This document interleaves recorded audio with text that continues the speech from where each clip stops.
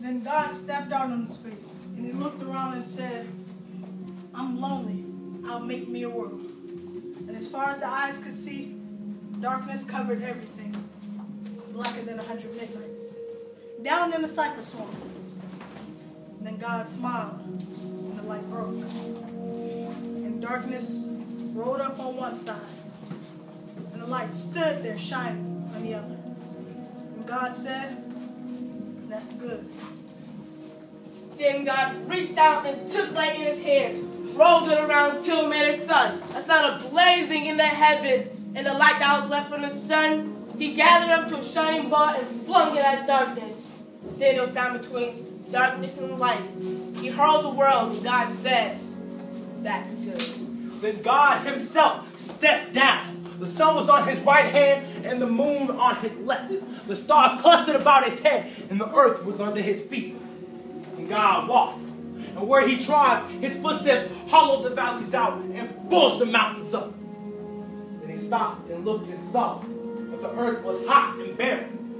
So he stepped over to the edge of the world and he spat out the seven seas. He batted his eyes and the lightning flashed. He clapped his hands and the thunder rolled.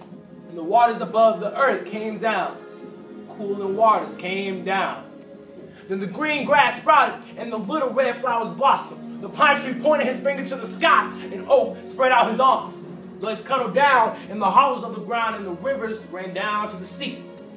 And God smiled and the rainbow appeared and curled itself around his shoulders. And the God raised his arms and waved his hand over the sea and over the land and he said, Bring forth! Bring forth. and quicker than God could drop his hand, fishes and fowls and beasts and birds swam the rivers and the seas, roamed the forests and the woods, and split the air with their wings. And God said, That's good.